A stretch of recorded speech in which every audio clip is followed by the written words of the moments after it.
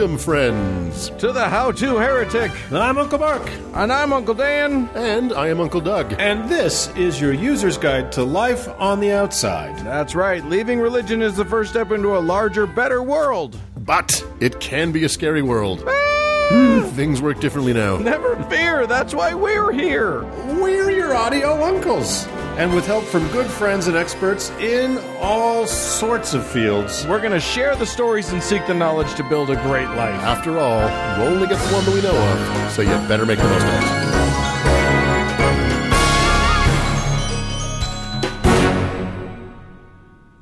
it. All right. So let's do version one. Fellas, Hey Hello. there. what uh, what a beautiful a beautiful sunny day here for the three of us to be apart together. Yeah, it is. it's a lovely day. Yeah, it, Yes. it does help. It does help the spirit somewhat when the sun is out and the birds are chirping and the flowers are blooming. But that's not what we're going to talk about today, is it? No, Never. Never No. that. Yeah. I'm gonna I'm gonna start us off with a long and windy road, uh, a crazy crazy tale of um, forgeries and salamanders and bombs. It's really a story about Mormons and penmanship, Yes, right? And yeah, the Mark Hoffman saga. They And may then- have beautiful penmanship. They tend to have beautiful penmanship. They're very prideful that way. I am then going to uh, conduct an interview uh, with a author and journalist, uh, Jared Yates Sexton, uh, who has is writing a book kind of about the history of theocracy in America. And uh, we're kind of fucked. So it's a, a very fascinating interview, and we're actually going to do it in two parts. So first half will be this week. Second half will be next week. I know you're going to want to to listen into both because it is. I've been doing this a long time, and it is more cray cray than even I thought it was. So that'll be fun. There's a lot of cray out there. Yeah, so be we're, had. we're doing a two-parter today, just because there's some lengthy stuff that we got to cover. Yeah, yeah. So uh, enjoy that, and uh, without further ado, let us ado a show. Woohoo!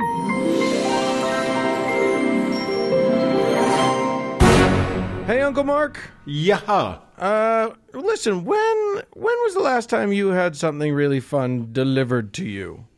Uh, it's a daily event now with canned food arriving in boxes. Yeah, yeah, yeah. yeah. Uh, we're all uh, basically anything that is good or bad in our lives is now brought directly to our doorsteps by people who hopefully wash their hands a lot. and bless the, and bless them. Bless them. Stay they safe. They are the uh, they are the people who keep the country running. Uh, but Yes. Uncle Doug, I think you have some stories of some some maybe less joyful deliveries. Yeah, I'm gonna I'm gonna talk today about some some packages that nobody really wanted. Were they delivered by Blamazon? Oh my God! I stepped into Uncle Doug's job there. The stupid puns, right? Is is it, so? Is this sense of disgust I feel is that normal for you guys? That's what it's like for us every day. Basically, All right, all the no. time. I'm going to lean into it. All right. Yeah. uh, if there's one through thread in our little podcast, if there's one theme that echoes through most, if not all of the episodes we have ever done, it is this Mormons be cray. this very weird religion, born of one very weird dude and carried through time and across a continent by an even by even weirder people, has led to some strange stories indeed. And a body count, big body count. Yes, indeed. It's about to get a little bit bigger. Um, one of those stories, one of the strangest, took place not at all far away from where we are all sitting, and it took place when the three of us were actually alive. That is true. In fact, uh, for most Utahns of a certain age, this story is burned into our memory. But I'm going to wager that for nearly everyone else, this will be the first time they've heard the name Mark Hoffman. Uh, Mark Hoffman is known where he is known for two things being almost certainly one of the most talented forgers in history, and for going on a bombing spree in Salt Lake City in 1985 that terrified the state and still mystifies us today. Indeed, this story could not happen in another time and in another place. Uh, his litany of forgeries, the power structure that fell for them, are inextricably, inextricably tied to Mormon history in such a way that even many of our Exmo listeners are going to struggle to get the context.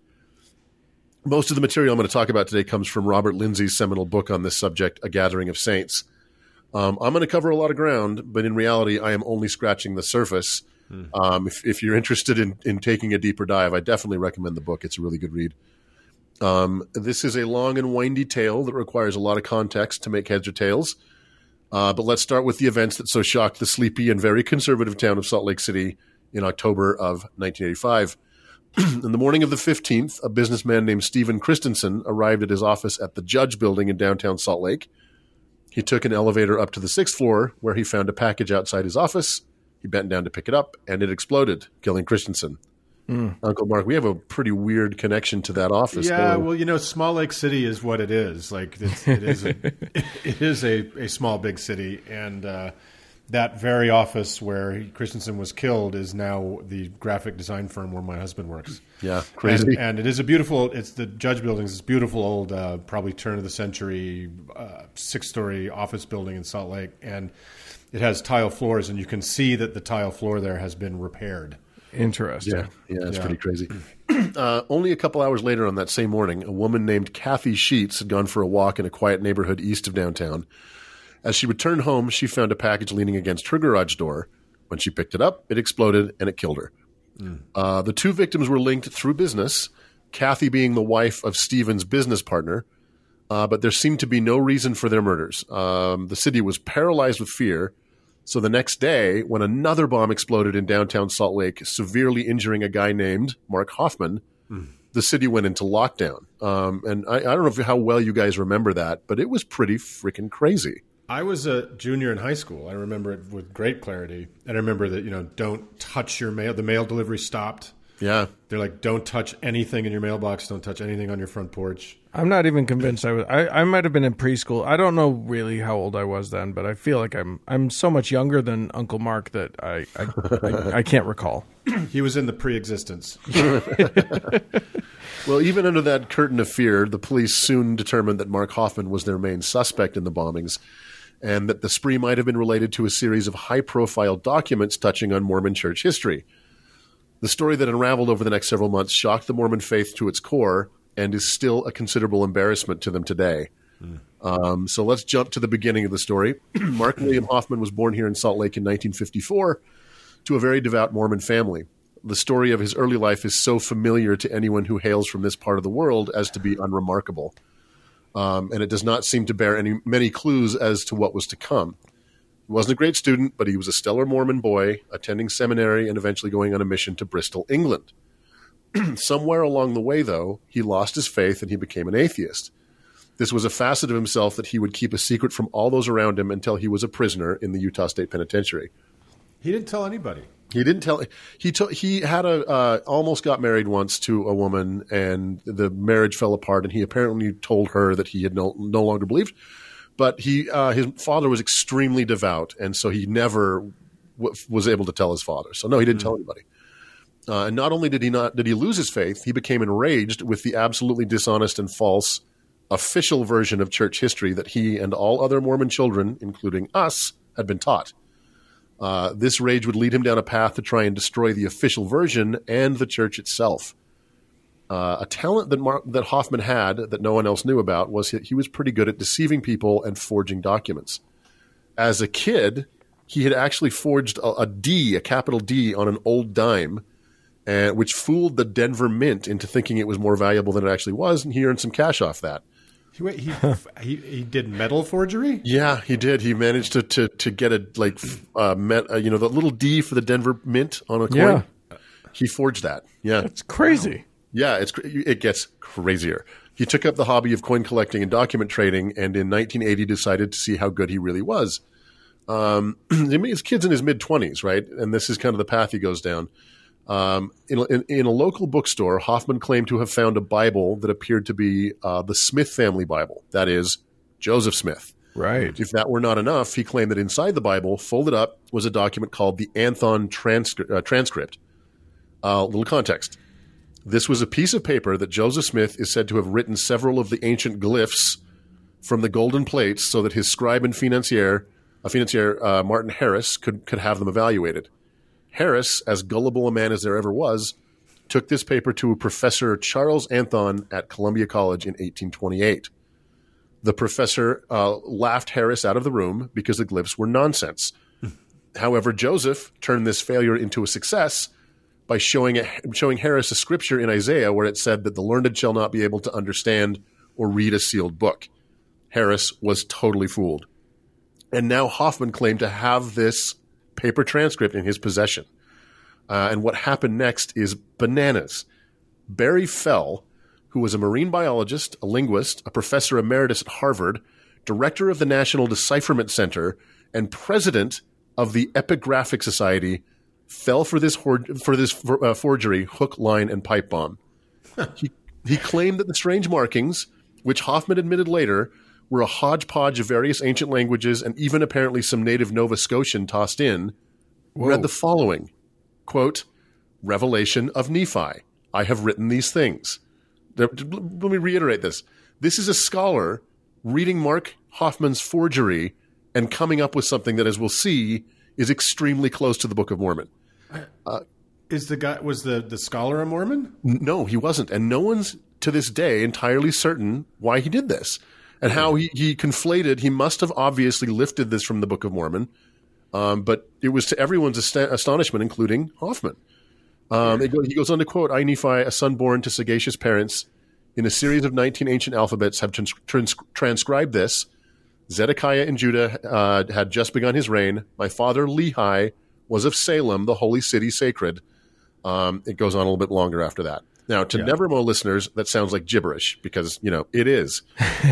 but to our Exmo listeners, there is something very familiar about what Professor Fell deciphered from Mark Hoffman's forgery based on something an illiterate farm boy scribbled on a piece of paper for a gullible idiot to show to an actual professor. You following? yeah. Yeah. Sounds um, great. the first Easy. words of the book, among the first words of the Book of Mormon are the following I, Nephi, having been born of goodly parents Yea, I make a record in the language of my father, which consists of the learning of the Jews and the language of the Egyptians. For it came to pass in the commencement of the first year of the reign of Zedekiah, king of Judah, my father having dwelt in Jerusalem all of his days. Now, again, no one knows exactly why Professor Fell did this, but in Mormondom, it's hard to overstate how big a deal this was. Hmm. Not only was this one of the first historical things ever that actually bolstered the story of the origin of the golden plates, it bolstered their historicity too.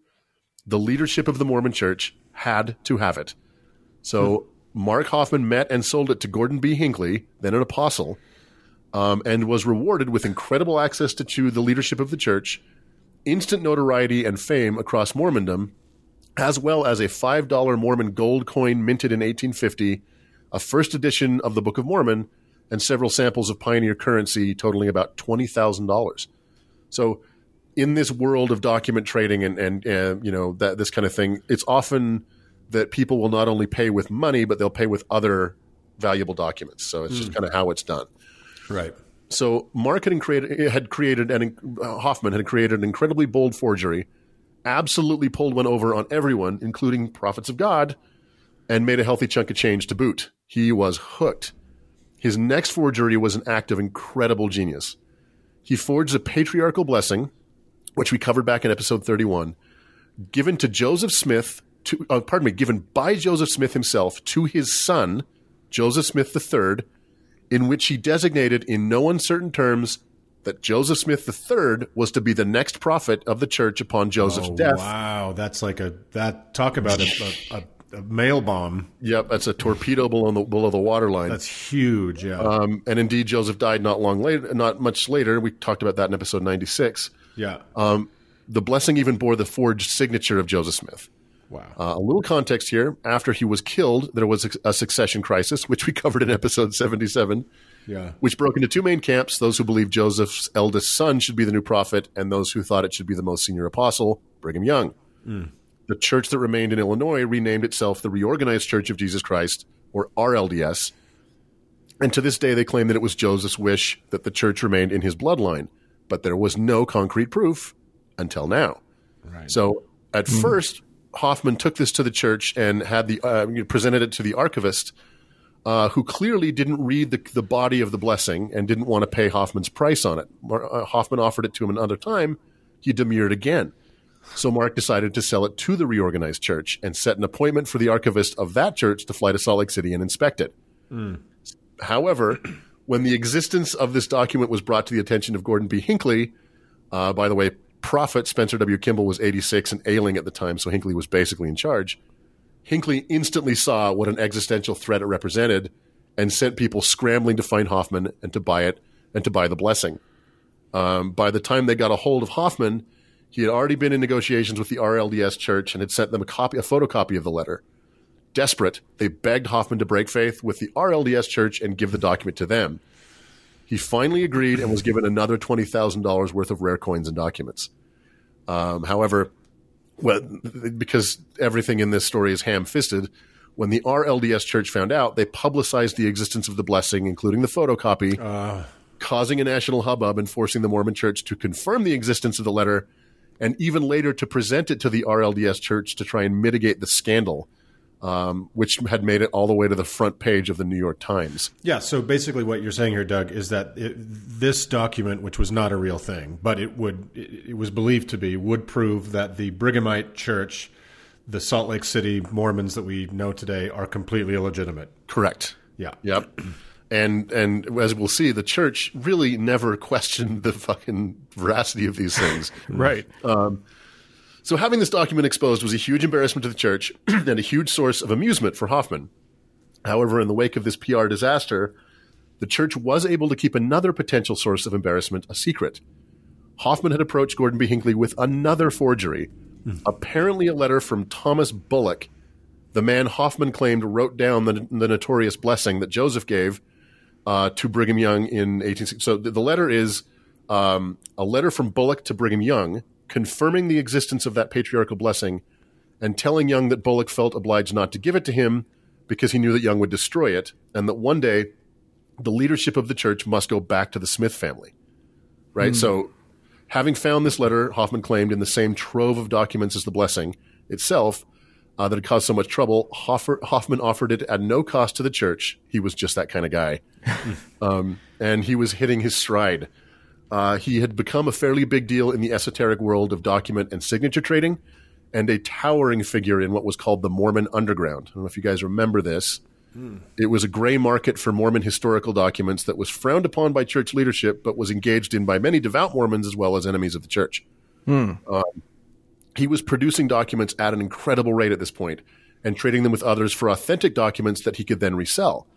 Among the many he produced uh, were the were letters supposedly written was a letter supposedly written by Lucy Mack Smith, Joseph's mother, and Martin Harris. Um, these letters bolstered some of the church's claims about its origins, and although a bit too dry to talk about here, found their way into the church's possession, prompting separate news conferences to display them in an attempt to bury the embarrassing um, fiascos of the last few months in good publicity. So, in hmm. a stroke uh, in a stroke of absolute genius that needs to be mentioned here, there were very few examples of Martin Harris's handwriting, which was odd for such a pivotal, pivotal figure in Mormon history. Having forged several documents by Harris and having sold them to many different unrelated collectors, now most of the examples of Harris's handwriting were actually Hoffman's handwriting. so it was like it was an Ouroboros. He, he he made a closed loop of right exactly. Of forgery proof. Yeah, it's crazy. It is. It is a known fact within the forgery world that uh, your own handwriting is the easiest to forge. Yeah, truly. so Hoffman had become Harris. Uh, put a pin in that for a little later. Um, this was fertile ground for Hoffman, who in 1983 approached the church with another potentially damning, damaging document. In a letter he claimed to have found, written by Joseph Smith in 1825, addressed to Josiah Stowell, a farmer who Joseph worked for for a short time, um, after um, Hoffman took this letter and showed it to a church official, and he read it, Hoffman was whisked post haste into the office of Gordon B. Hinckley. The letter was a set of instructions, again written by Joseph Smith, about how to exactly calibrate and use divining rods to discover buried treasure that were hidden and obscured by clever spirits. Um, the date of this letter placed it right at the time when the church claims Joseph was being guided by the angel Moroni to the buried golden plates. Oh, that's so smart. That's yeah, so smart. So smart. And because and we know that he because we know that he did do divining. That, that that's Joseph exactly right. Was a diviner. Yeah, and yeah. it's embar- and it's embarrassing to the church, to the official church. Yeah, and and we'll talk about why it's embarrassing too. Um, they instantly agreed to pay fifteen thousand dollars for the document if Hoffman could get it authenticated, which he did. He had become such a talented forger that he took the letter to Charles Ham- Hamilton, the most accomplished authenticator and forgery sniffer in the world, and he signed off on it. Wow. Uh, yeah, the church made good made good on its price and swore Hoffman to secrecy before placing the document into the first presidency's vault. So only Hoffman, that guy Hamilton, the first presidency, and the apostles knew about its, its existence. So this is official Mormonism burying what they think is its history. And they're convinced that it's legit, and that's Right. why they're they're burying it. Exactly. Right. Well, and what Um, the other thing that's amazing about it is that like for a, you can't get a better deal as a as a forger than I'll sell you this thing and you'll never show it to anybody again. Yeah. Like- exactly. You get to keep forging forever if you do that because nobody's nobody's going to get you in trouble. They're trying to hide it. Exactly. Yeah. So the sudden appearance of so many do- so many documents and the growth of the Mormon underground as an intellectual counterweight to the church hierarchy threw the leadership into a bit of a paranoid frenzy. Pardon me. Led by Boyd K. Packer, who was perhaps the most conservative apostle in Mormon history, there was a serious and widespread crackdown on scholarship into the origins of the faith. And uh, I don't know if you guys remember this, but you know, Mormon security people were, were hanging outside of people's homes, getting license plate numbers, getting you know those names from the police. I mean, it was it was bananas. Um, but Hoffman's astounding prowess as a forger and the Mormon Church's clear desperation to prevent more harmful documents from seeing the light of day would lead to the most daring and ambitious forgery yet, and the most notorious, the White Salamander letter. Yes. This letter, I, I got to say though, uh, there was no. This guy just kept turning up these these bombshell things, and they never questioned it.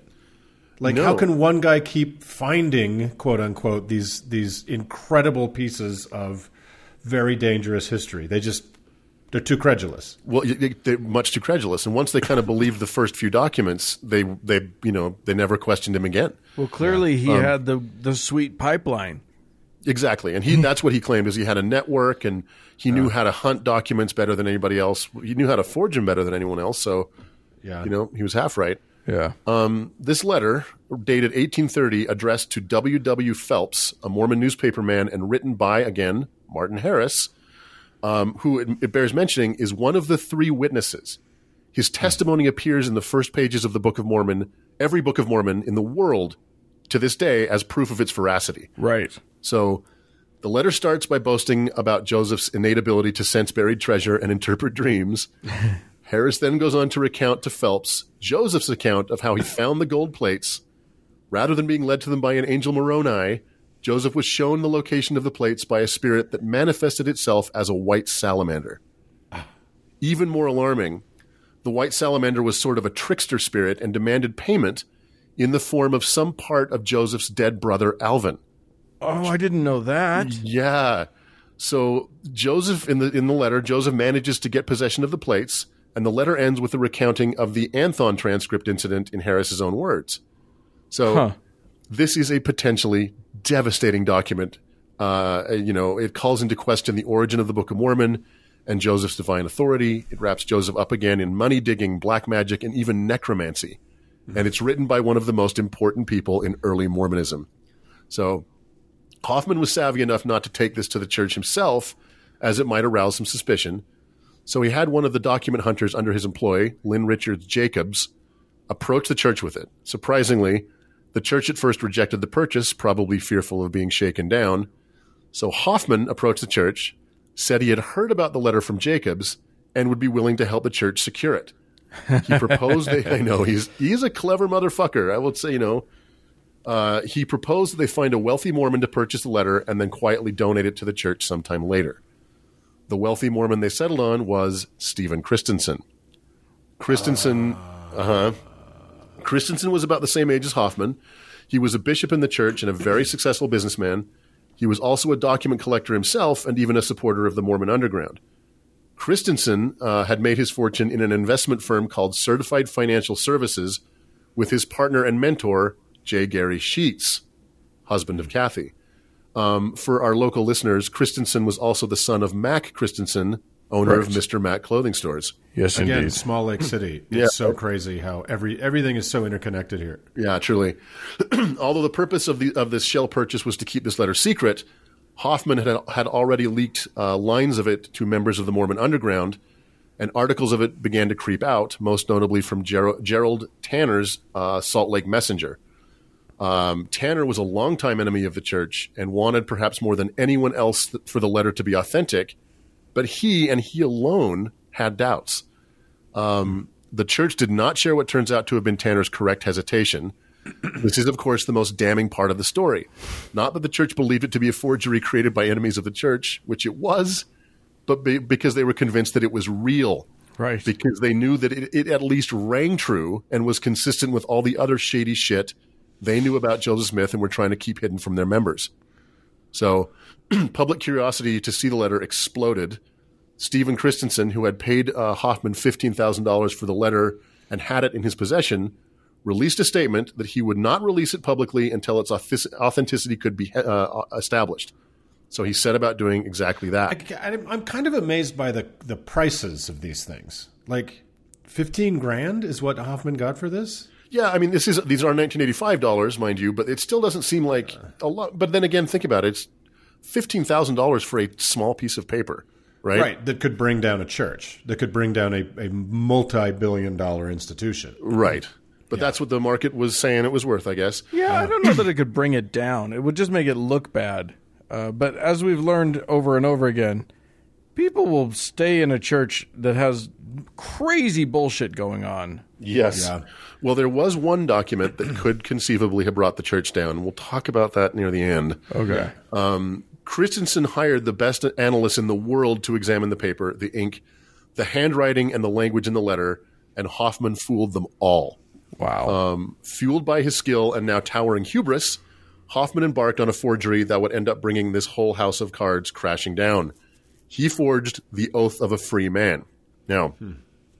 the oath was a small printed loyalty pledge that members of the Massachusetts Bay Company were required to say as they arrived in America as early as the as the 1630s.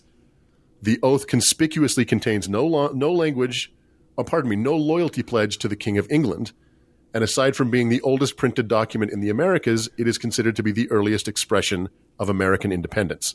So it's one of the most sought after, valuable documents in the world. Huh. Um, indeed, it was uh, an inspiration for the Declaration of Independence. So although the text of the oath survives, no original copies of the document exist. This was too tantalizing a target for Hoffman, who in 1985 forged it and got it submitted to the Library of Congress for authentication here's where where we get some real money. Word on the street was if it was real, it might fetch upwards of two million dollars. Right. Yeah. He was done with this small time Mormon bullshit. He was ready to go to the big time. It's true. Um, at the same time, Christensen's firm had gone into a tailspin uh, due to falling oil prices and floundering real estate markets. Christensen asked the church if he would if they would allow him to sell the White Salamander letter to raise money for his family, since the cat was already out of the bag, but the church said no. So he turned the letter over at no profit to himself. Hmm. um, in 1985, Time magazine published a story called Challenging Mormonism's Roots, which forced the Mormon church to admit that the, to the letter from Smith to Stowell about the divining rods and the clever spirit. This is a bad time for the church. wow. Okay, so meanwhile, the Library of Congress let Hoffman know that it could not unauthenticate the oath of a free man and therefore wanted to buy it.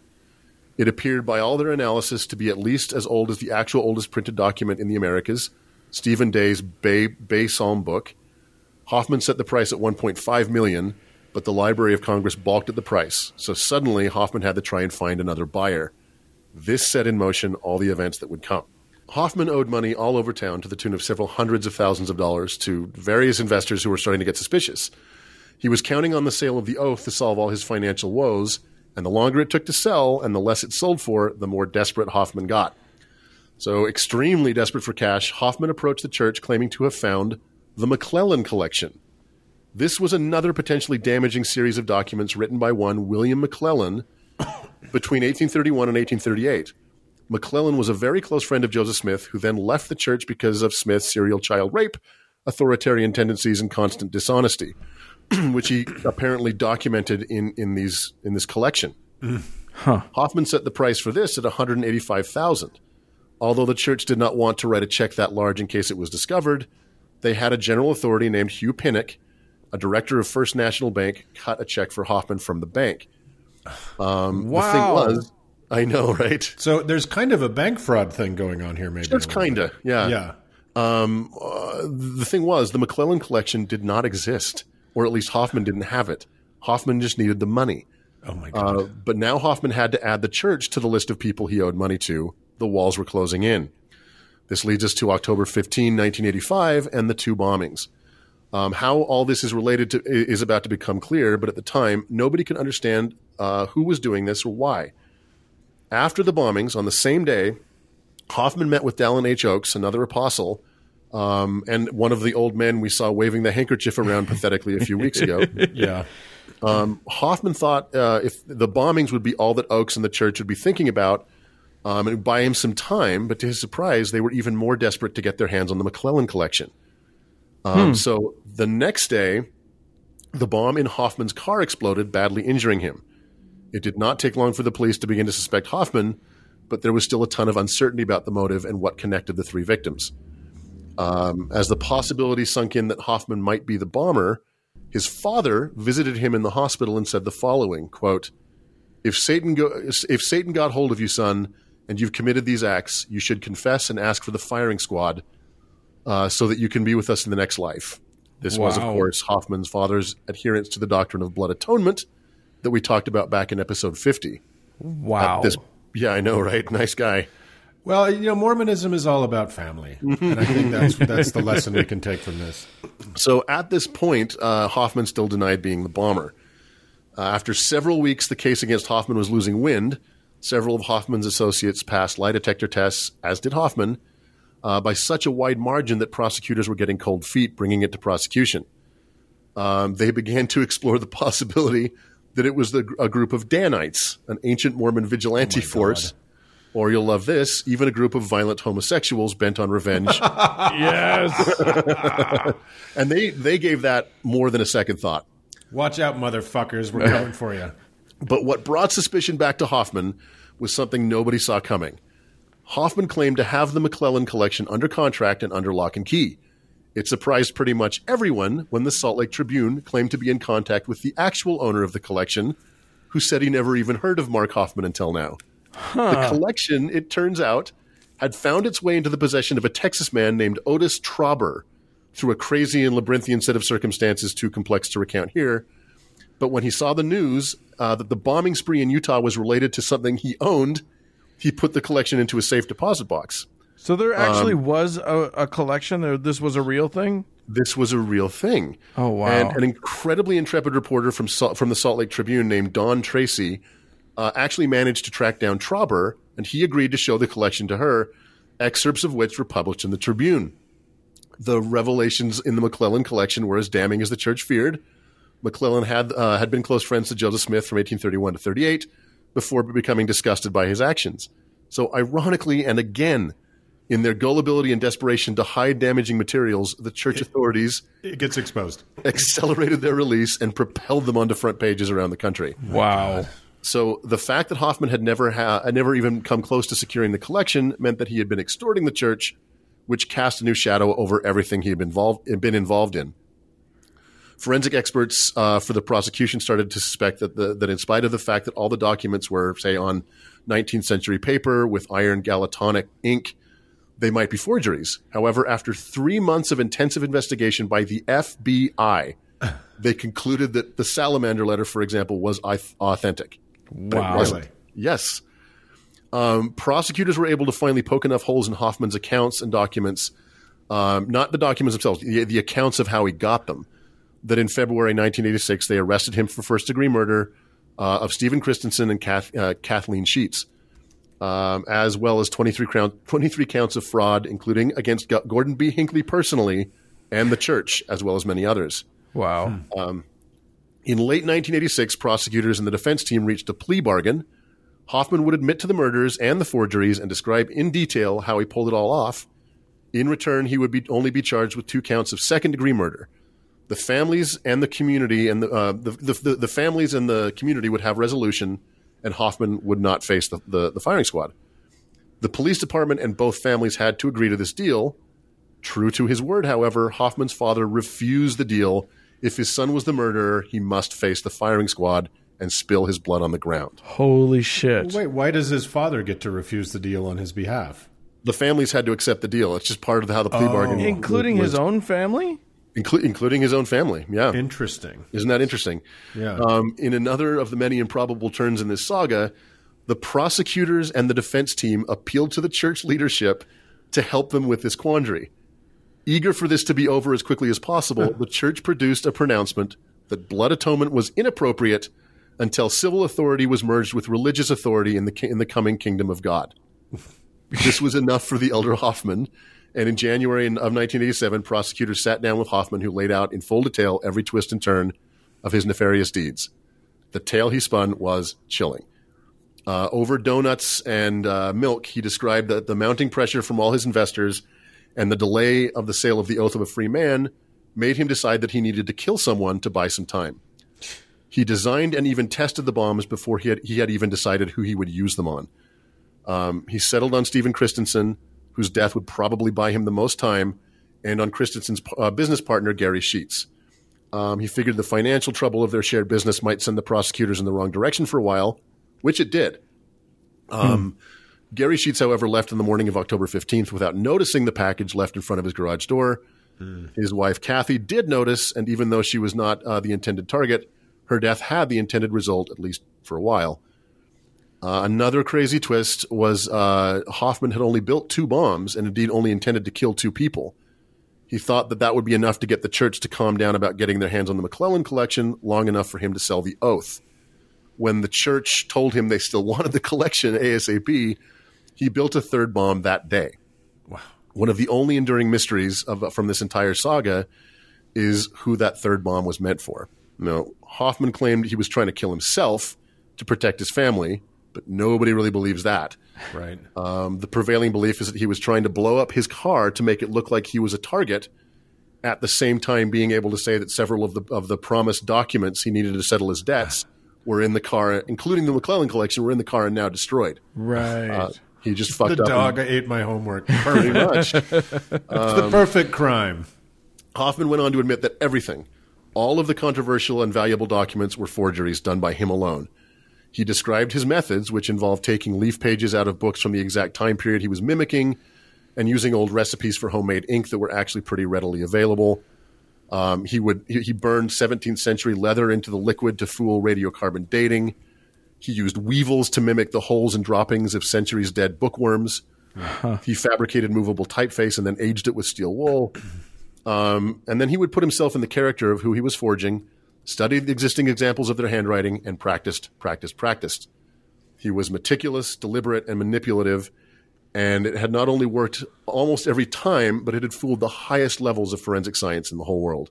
wow. Um, he forged the handwriting and uh, handwriting and signatures of George Washington, John Adams, John Quincy Adams, Billy the Kid, Andrew Jackson, Mark Twain, Francis Scott Key, Abraham Lincoln, John Milton, and Miles Standish, among many others. And to be clear, he never got caught for forgery. Wow. After his sentencing, he met several more times with prosecutors and told them one final amazing fact. His next major uh, forgery was to be the lost 116 pages of the Book of Mormon. Wow. For those who don't know, these were the pages dictated by Joseph Smith and written down by Martin Harris right. that were supposed to be the first book in the Book of Mormon. Harris took these pages to show them to his wife, and then they were lost to history. Joseph, knowing he had made it up and that if he tried to duplicate it, it wouldn't match the original pages, sensed a trap, and so he started over with what was supposed to be the second book in the Book of Mormon. That's now the first, the Book of Nephi. Right. However, the existence of the 116 pages and the potentially contradictory and damaging things in them has always kept church authorities up at night. And yeah, the, fir- the first draft of the Book of Mormon. right.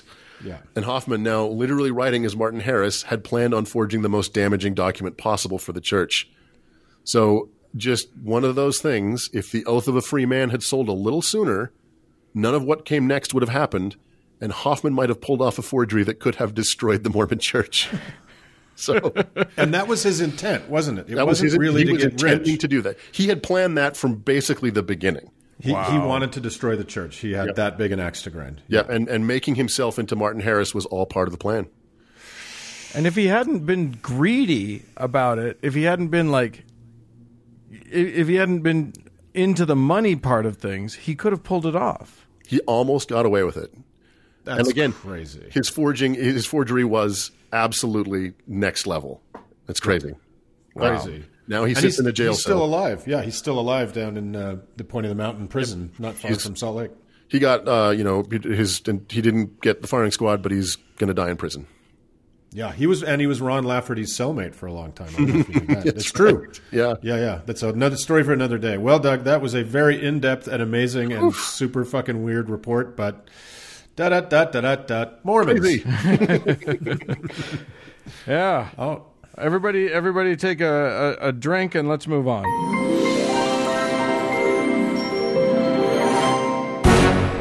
Hey, fellas. Hello. we. let me tell you something. Uh, we like to do this show, and uh, a lot of people like to listen to it. And some of those people are awesome and want to give us a little bit of cash. We like to do this show even on days when the technical difficulties that you never hear are making us have fucking insane. We really hope you don't hear it. Uh, There may be some slight differences. Uncle Doug may sound weird sometimes. You never know. I sound weird most of the time. It's been a day. Uh, but we, but regardless of that, people still seem to value what we do, and we owe them thanks for that. Uh, so, got a lot of folks to thank today.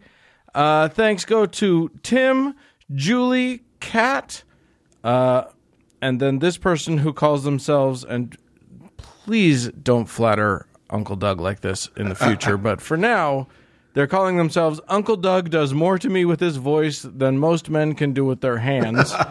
well, hello. Congratulations on that, Uncle Doug. Uh, Betty, thank you so much. Dave, uh, Ariel, uh, Crystal, Tim, hey Tim, uh, and we owe some heavens. Damn. Oh boy. Uh, we got some we got some people coming in strong. So Uncle Doug, uh, you we have a a, a, a, a once a, a current patron has bumped their patronage up so high e- that even though uh, they were they they were saying they didn't necessarily need a heaven, we're giving it. All right. So Uncle Doug, you're giving your heaven to Devin. All right, Devin. You may not want one, but you're getting to heaven anyway. You see, Devin? You motherfucker. yeah. Yeah. De- De- people should know. Devin wrote in to tell us that, that she had to bump her patronage down a bit, but she's she's returned to the heaven level. Um, however, She's she surpassed the heaven level, but No, surpassed heaven level. Excuse me. Yeah, she shot over the heaven level. she and is now overshot out- the celestial kingdom. That's yeah, right. exactly. And she gracious, graciously said that we didn't need to bestow a heaven on her. Uh, but then she called uh, me out for saying for say, sainting her with a saint that I had apparently already used. You, Listen you, here, you're double Devin. sainted. Listen here, Devin. Your uncle Doug is how do you say sometimes not that creative. So sue me. And furthermore, did it ever occur to you that maybe, just maybe, two people could have the same saint? I mean, Who are you to call me out in private? What do you think you are? Smarter than me? Are you some kind of brain sciencey thing? Huh? She is. Well, Devin. One hundred percent. She, she is. is. Yeah. That's a fact. Um, you said you don't want a heaven, but you're not getting off that easy. For your petulance and clear superior value to society over me, here's your heaven. when the piano lands on your head and you are squashed out of this earthly existence, in the twinkling of an eye, you are transported to what looks like, at least to your primitive eyes, the perfect city of the future. Incredible, impossible gleaming towers stretch into the clouds. Trains that seem to run on invisible tracks silently stream by above. The streets are shiny metal, polished to a mirror like finish. She went to Atlas Shrugged heaven. Is that what you're saying? Uh, it's not crowded, but there are people. Beautiful people. Tall, fit, well dressed. They enthusiastically greet you as, you as they pass you by. You notice the ground level of each building is a super high end retail uh, store. Clothing, purses, watches, shoes, all with brand names you've never heard of and of a quality you'd never thought possible. You also notice that each of these items has a small tag inscribed with free for Devon. um, dispersed to the retail shops are five star restaurants with the rich smell of the world's finest French, Italian, Chinese, Mexican, and Moroccan cuisine, each taking turns enticing your nostrils. In each restaurant, there's a sign in the window No waiting for Devon, come on in. As you stroll down the flawless avenue, you pass a five star hotel. You glimpse in to see a lobby of such exquisite ornateness it just takes your breath away. In the middle, there's a gold stanchion with the words Presidential Suite Reserved for Devon. You turn down, you, you turn around and take in the vista. the perfect street in the perfect city for the perfect person. Or at least the person who thinks she's perfect. More perfect than me, anyway. Your eye catches something unexpected. A tall, beautiful woman who looks ever so much like Lupita Nyong'o strides strides along like, as though she was on a runway. But wow, she's missing a hand. That's weird. Across the street, you see a beautiful man, like Chris Chris as Thor, but in a wonderfully tailored suit. But he's missing an entire arm. Another woman with olive skin and black silky hair to her waist passes and smiles at you. She's missing every other tooth. You realize as you look around, everyone, everyone is missing something. The illusion of utter perfection begins to shatter as you start to cross the street, so you don't notice that you're crossing against the light. All the beautiful people, all the beautiful yet incomplete people, stop and stare at you in horror. A booming voice rains down from heaven and says, Jaywalking is not allowed. that voice, it's it's your voice. Then you hear a little pop, almost like a knuckle cracking. So you look down at your right hand, and your index finger is gone. No blood, no scar, almost like it was never there in the first place. You retreat back across the street and collapse on the curb, trying to figure out what's going on. That voice, your voice, rings out again. Loitering is not allowed. Pop. There goes your middle finger. you pull yourself to your feet and stumble over to a store window. You put your hand on it to stabilize yourself, and again, your voice comes booming. Smudging windows and bad posture are not allowed. Pop, pop. You look in horror at the lonely thumb on your right hand as you realize what your eternity now is. Your heaven is to live up to the exacting standards of an all powerful, all seeing you. You could have gone a little easier on your audio uncles, but it's too late now, so enjoy. Pop. This is what you get for giving us a lot of money, people. Right. Screw you, you generous fuck. Yeah. Oh, Devin, enjoy that. Good lord. Wow. Okay, well, you know, Devin's not the only like utterly generous person out there, and I now have to give a heaven as well. And this heaven goes to Naomi. So, uh Naomi, this one's for you. Space. The final frontier. Well, yours anyway, because like the Mormons, your everlasting journey beyond this mortal coil ain't going to take place on this pale blue dot. No, Naomi, you're going to the furthest reaches of the universe in an adventure that will have you on the edge of your captain's chair. That's right, Naomi. You're going to sci fi heaven. Afterlife log. Stardate unclear. We've sounded yellow alert as we as we are venturing deep into the Cylon Nebula, where no one has gone before. Other than the all other than all the people who have, of course. We've engaged our Vorlon drive to ensure maximum speed as our beryllium hyperspace hyperspace modulators have been offline. We hope to soon make contact with the holographic beings on the distant planet of Alpha Omicron Pi, where, if we make it through their hazing ritual, we will pledge to keep their society safe. That's right, Naomi. Your afterlife will be a non stop saga, traveling to uncharted reaches of space, reaching out to unknown civilizations, and then coming back to refuel, pick up some replacement red shirts, and report on what you saw and did. Fire proton torpedoes! There are Grand Moff Tarkins on the starboard bow! Tune your universal translator to the weirding way to hear the strange but beautiful song of the mysterious race known as the Tricorders. Let's go back to the bar at the spaceport and drink some Daleks as we laugh about our adventures on Huragok 5 floating down the River Tam. Of course, always being in places where you don't know what to expect can lead to a strange feeling that things are never quite right. Anxiety will be your constant companion as you hurtle through vasty nothingness, trying to make sense of it all. Why do the race known as the Glitter Boys always attack us, even after we've made peace? Why do we swear not to disturb alien civilizations we deem not ready for contact, but then inevitably barge into their lives somehow? Why can I never find Vogons big enough to fit my feet?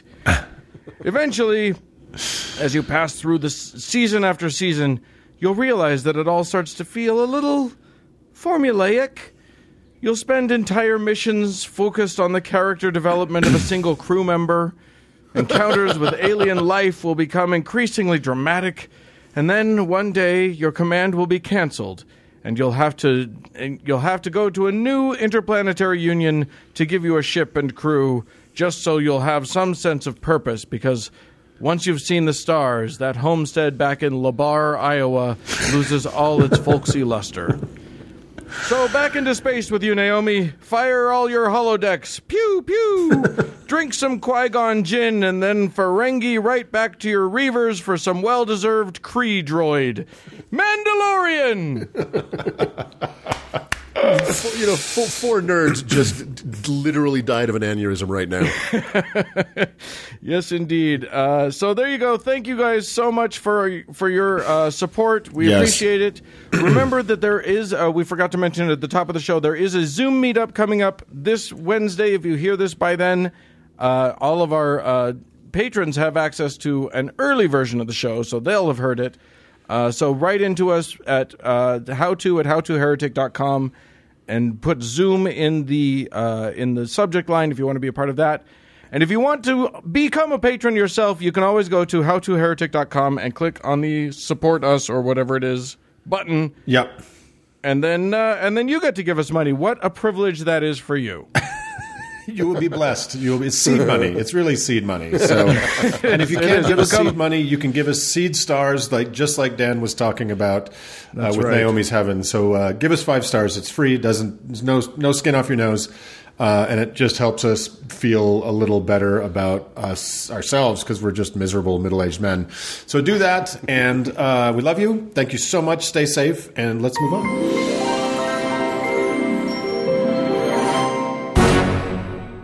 Heretics, we are very, very fortunate today to have uh, a special guest on the show. Uh, Jared Yates Sexton is a professor, a journalist, and the author of several books, including The People Are Going to Rise Like the Waters on Your Shore, A Story of American Rage, and more importantly for our discussion today, American Rule How a Nation Conquered the World but Failed Its People, which comes out in September. I've pre ordered my copy, and I have a feeling that after today's discussion, you will want to as well. Jared Yates Sexton, welcome to the How to Heretic. Hey, thanks for having me, man. Yeah, lovely to have you. Um, so, theocracy here in America. I came I came across a long Twitter thread you did on March 22nd, and I knew we had to talk to you. We talk a lot about theocracy on this show, and after some long thought and consideration, eh, we're against it.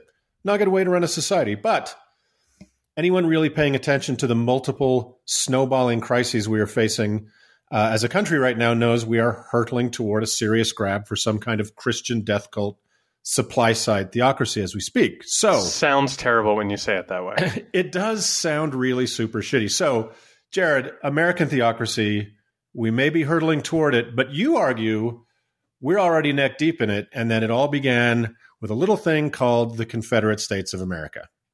Yeah. So um, for for the book uh, that we're talking about, American Rule, um, I. I sort of needed to go back into American history, which you know I, I, I have a basis in it. I've I've been educated in it. I've looked into it. I've spent my time reading all these history books. I feel like I I, I felt like I had a good understanding of American history, and Sure. I, but I think, like a lot of other Americans, um, that faith in my own understanding of history was shattered in November 2016. and, you know, like everybody, well, not everybody else, obviously, there were people who thought that Donald Trump could win. But for those of us who thought there was no possible way that this person could win the presidency, yeah, um, this absurd clown. Right, this absolute buffoon. There was no Right. way possible that he could, you know, win after after everything.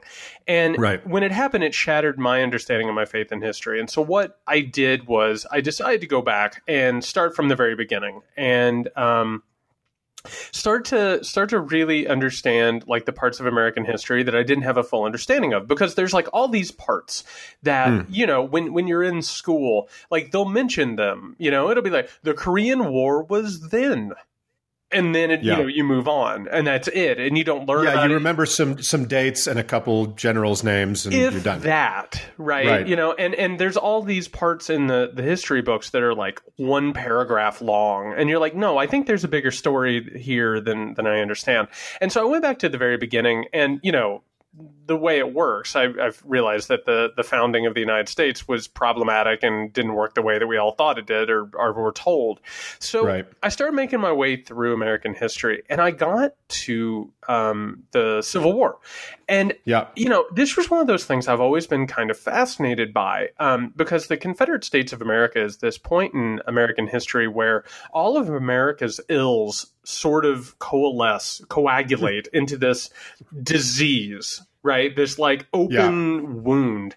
And none of the history books that I read really talked about the Confederate States of America.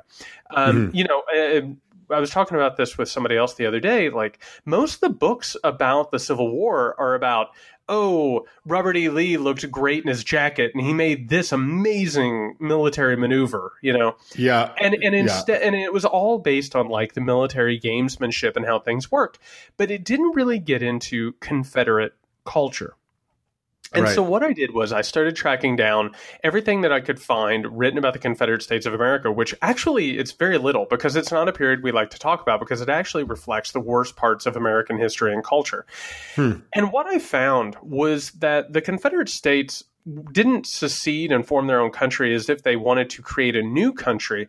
They actually believed that they were the true United States of America and that the rift between the North and the South was actually a betrayal by the North of the South and that uh, because they had been betrayed, that they were going to take over what the founders had started. So what you find in all of the Confederate iconography is you find all of the founding fathers, particularly George Washington, tons of statues and parts of him. He's on the seal, all this stuff.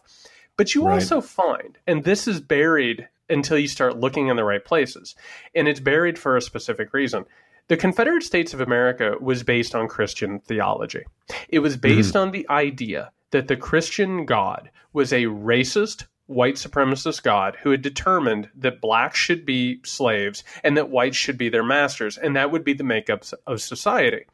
Right. And so it's this incredibly uh, like overt and awful manipulative society in which you have Confederate preachers who are preaching this constant perverted Christian racist theology. And and it's all Right. based on the idea of the entirety of the South was indoctrinated to believe that they were God's chosen people and that they would win the Civil War. But when they lost a battle, the preachers and the politicians would declare days of religious humiliation where you wouldn't leave the house and you would just bow down to God and apologize until you won the next battle. And, you know, all of these bizarre Christian cultish behaviors.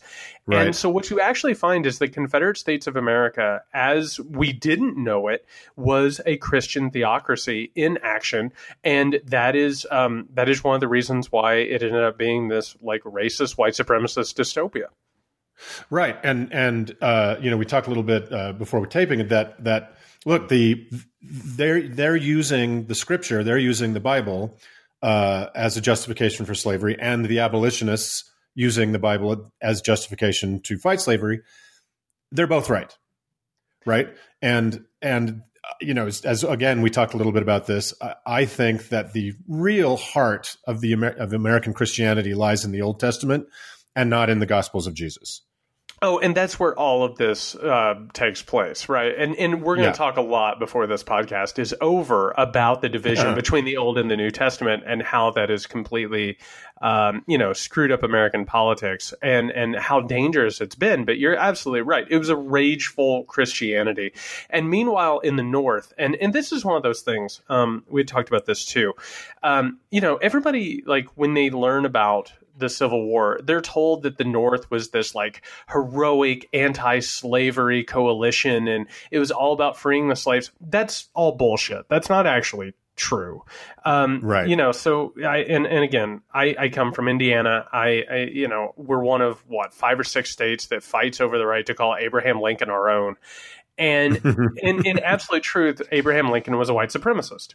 Hmm. And Abraham Lincoln, in his speeches, including the famous debates and you know all of these addresses, he's like, "Well, you know, I don't necessarily want there to be slavery, but as long as there is a divide between whites and blacks, I want the whites to be supreme." And hmm. there are even these times, and this is the the craziest thing where he's trying to sell the slaves to other countries.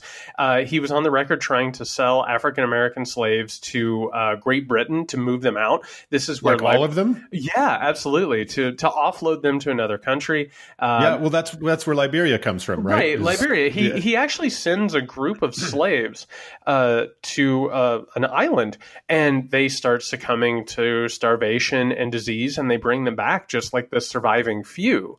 And so, hmm. what we actually find, and, and there's this other moment too, where uh, you know Lincoln tells everybody he's like, there there will never be peace in America until you know African Americans are gone, and so he actually hmm. meets with a coalition of like Frederick Douglass and other African American leaders, and he's like, uh, you need to convince your people to leave America, and they're like, we're sorry, but we're American.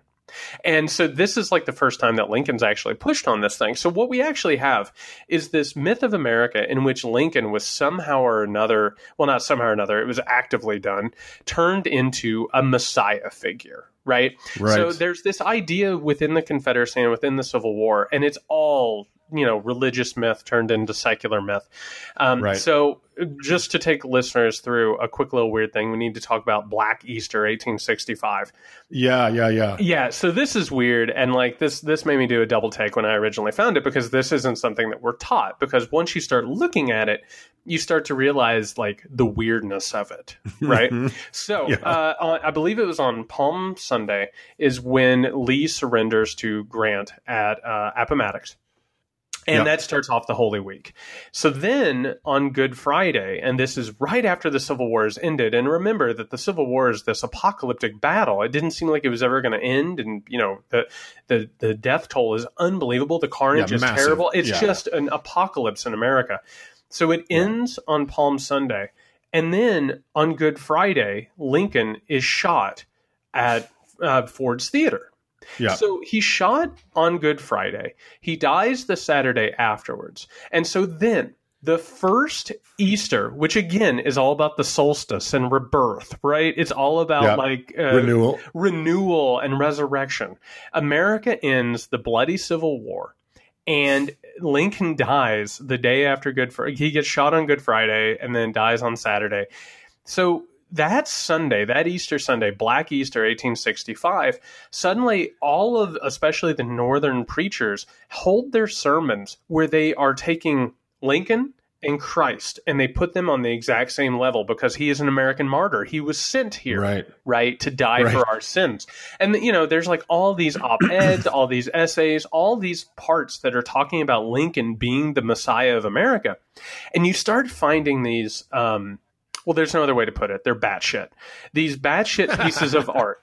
And and and again, like I, I want I, I don't like to tell listeners what to do, but pause this thing, go Google mm-hmm. it, spend a couple minutes, and just lose your mind. I don't know if you've seen them. I, I have seen them, and they are, and I, I they felt I, they were reflexively a little creepy. They're really um, creepy. but I, with knowing all this now, going back and putting my eyes on it again, they're going to be super creepy. Okay, so everybody, you just or, or listen and just go do it. Whatever. We're we're a multitasking culture. So yeah. what happens is all of a sudden this popular art starts coming into uh, you know popularity. That's very redundant, but true. And so what ends up happening is you start getting all of these pieces of popular art that show George Washington in heaven, surrounded by choirs of angels, welcoming Abraham Lincoln into heaven. And right. you start finding this weird secular bastardization of the Christian myth. All of a sudden, you have George Washington as the father, you have freedom and liberty as the Holy Spirit, and you have Abraham Lincoln as the son and the martyr and the Messiah. And so all of a sudden in American history, you start seeing an intertangling of public and secular and, and all these bizarre uh, mutations of a Christian national white myth. And the belief is that Lincoln, as a Messiah, has forgiven us our sin of white supremacy and slavery, and now America is washed clean and ready to begin its new destiny. Right, and then, pardon me, and then no, it, we're we're done having to deal with racism. That's all oh, that's behind gone. us. Why would you ever it's have a, to deal with racism again? It's just gone. That's right. We were cleansed in the blood of the, you know, of, of Abraham Lincoln and the Republic, and we're all done with that. Yeah, why would you ever have another problem with racism? So, what ends up happening, and, and this is the thing, and for um, your listeners who pr- might not have heard me talk about this before, um, this is the basis of what I've come to call the cult of the Shining City. Mm-hmm. And, um, you know, I, I, I, brought that name out and I've, I've gotten a little bit of pushback. People are like, well, there's nobody out there who calls themselves the cult of the Shining City. I'm like, I'm well aware. You know, these are people, um, these are white identity evangelicals. And that is Mm-hmm. a specific group of evangelicals. You know what I mean? Mm-hmm. And and anybody who's listening who has uh, been a part of this knows what I'm talking about. It's a group of people who are brought up to believe that they are the chosen people as Americans and as white Americans, and that there is this conspiracy against them and against America. It takes the uh, it takes the form of the New World Order. It, now it's the deep state Yeah. or QAnon conspiracies, all this stuff. And what I ended up finding out, and I had no idea because I grew up in this thing. Um, I, I grew up in a very extremist Baptist Pentecostal type of um, childhood, and So fortunate. That must have been wonderful. yeah, I'm not dealing with those problems to this very day. Still, It's all behind me. right and and so like you know i grew up in this very again bad shit situation where you know i i got taught how to do battle with satan like if he showed up in my living room i was ready to duke it out with the prince of darkness As a child, right? as a child and Yeah. like you know i would have um you know i would have like health problems and like they would talk to me about like maybe i had a demon inside of me right maybe maybe the forces of evil and i remember there's this really bizarre thing and when i tell people and and you and i were talking about this before we started taping when you talk to people who don't have this experience it sounds so insane you know yeah. and I, I like I, I'll never forget. I was seven years old, and there. Um, this was back, and we're going to get to Ronald Reagan in a minute, and we're going to talk about um, you know satanic panic and and how this Yep. all came about. But I remember. to play all the hits. Oh yeah, just hang tight. Old man's going to come up here in a second. Yeah. And I remember being like seven or eight years old, and there was like an NBC special about demonic possession. You know, Mhm. that used to be a thing, or, you know, uh, unsolved mysteries at eight, demonic possession at nine. And I remember I asked my grandmother, I was like, is demonic possession real? And she's like, oh, yeah, it's definitely for real. And I asked her, I said, well, how do demons possess you? And she said, well, they get you while you're asleep. Ugh. You know, and so like for the next, I don't know, six, seven, eight, nine months, I tried not to sleep. Right. Yeah, my I had an aunt who did exactly the same thing to me, and it was at, at a at a very tender age, and it was a nightmarish year of, Right. of hallucinating because I was trying not to sleep. Exactly. And so we would, you know, we we lived in this older house. We were very very poor and like the house would creak, you know, over the course of the night and my grandmother would talk about how it was spirits and you know, like the past all this nonsense, you know, Yeah, that, that is just indoctrination. Child abuse. It's child abuse. That's exactly right. And Absolutely. so we, we I grew up in this. This was um, unfortunately I didn't realize it was a cultish environment. You know, I lived Yeah. in a small town. Um, I write about this often. I, I grew up in this small town that is um, notorious for having one of the largest like Fourth of July celebrations, like in in the Midwest. Um, you know, is very the real the real America is real capital R, capital A, real America. And you know, grew up in this town where you know we were fed a steady diet of of white identity nationalism, you know, Mhm. mixed in with this um, you know Christian occultism, and I had no idea that my preacher and other preachers and other community leaders were pushing this old Confederate theology. Right. Um, I just thought it was Christianity, right? You just well, you just it was normal to you. You Yeah, were just when you're in a cult, you don't always know you're in a cult. You know, like Yeah. fi- finding out you're in a cult is one of the first moments where you're like, maybe I should get out of this fucking cult. And that's not what you know when you grew up in it. You know, it's No. it's Plato's cave. Like you're in the cave, Right. you don't know there's a life outside of it. And yeah, and you trust you you know as a child, of course, you have to trust your elders and and what they say is how things are. They're doing their due diligence. Why wouldn't they? Well, especially in a cult. Your Yeah. elders are unquestionable. And you know, there, I assume there are people listening who can relate to this. You know, cults. lot. yeah, right. Cults tell their their um, their devotees they're like, you cannot listen to anyone outside of this cult. Right. Right. You can't. And by the way, this is all Christian uh, culture war shit. It's like Yeah. you can't listen to these records, you can't watch these movies. If your friend's not in the church, they can't be your friend anymore. And so what they do is they continually continually insulate you until you don't understand that there's a world outside of it. Exactly. Now, Yeah. I, I didn't realize that I was in a cult until Donald Trump really became uh, prevalent, and Hmm. you know, and and the church and the people that I knew, I'd always known there was deep, deep hypocrisy in the church, and Sure. I, I left the church at an early age. I was one of those people who, at like you know, thirteen or fourteen, I was like, "There's something wrong here." Mm-hmm. And and I don't trust this. And you know, obviously, I was alone in that, couldn't talk to anybody. And then you know, I was we've had very parallel lives, Jared. Thank you. I, you know, I think there's a path that a lot of us have found, right? Yep. And Yep. so you, you know, you start reading the books that people don't know that you're reading, and you start listening to the music they don't know you're listening, and the next thing you know, by the time you're 16 or 17, you are just like an aggressive atheist, or you know. and Yeah. so, you know, I I left it when I was in my teens, but my understanding of it didn't really come into full fruition until this happened. And and like a lot of people, I watched as the evangelical church uh, rallied around Trump. Mhm. And when people started saying, like, man, it really seems like the church is hypocritical when it comes to Trump, I was like, well, of course they're hypocritical. They're they're hypocrites. And I had want, you know, I would man, this is I never thought I was going to be talking about this on a podcast. You know, it was like one of those things where like I wanted to be a preacher when I was a little kid. And one of the things that made me decide not to was the preacher. We had one of those charismatics, right? Right. He was incredibly charismatic and and just he, he was a rock star, is what he was.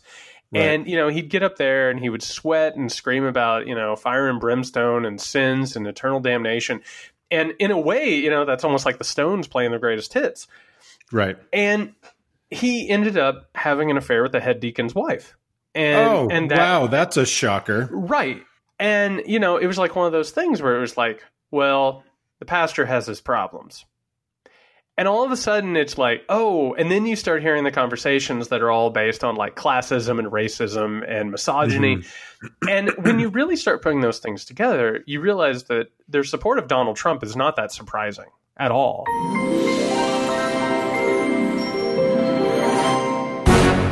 Hey, all, there is so much crazy info in this interview. I didn't want to cut Jared off.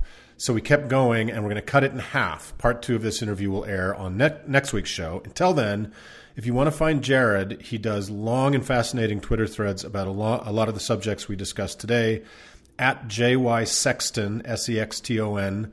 Uh, he has his own excellent podcast called The Muckrake, which I highly recommend and uh, he, he blogs at themuckrake.com. If you would like to pre order his book, it's called American Rule How a Nation Conquered the World but Failed Its People. Tune in again next week for the rest of the interview.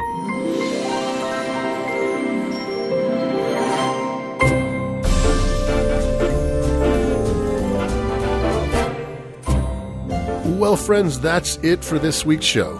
Hey, we'd love to hear from you. Send us an email, howto at howtoheretic.com. Or uh, if you were the president of the Confederacy, you can leave us a voicemail about it at 903 88 How To, which is 903 884 6986. Uh, You can also fire the first shot at Fort Sumter at me at Twitter. I am at How To Heretic. And thanks to our patrons, especially the ones who find my voice orgasmic. And thanks to Cody Layton for editing the show. And thank you, dear friends, for tuning in. Bye. Bye, friends.